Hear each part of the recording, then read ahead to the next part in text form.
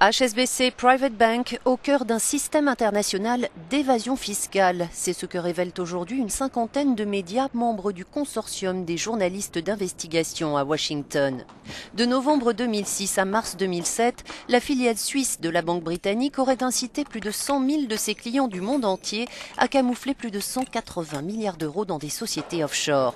Parmi eux, des personnalités politiques, du spectacle, des affaires, mais aussi des trafiquants d'armes et de drogue et des terroristes.